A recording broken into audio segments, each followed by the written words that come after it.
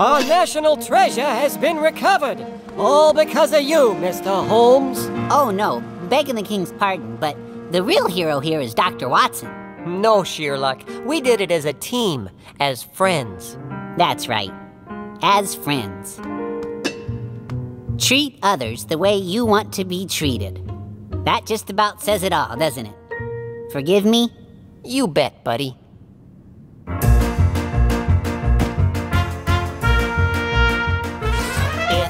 Crime has been committed, which makes you rather curious, While culprits and solutions lurk elusive and impervious. and fancy words bewilder you and make you feel ridiculous, the crime will not be solved until you grab the phone and call on us.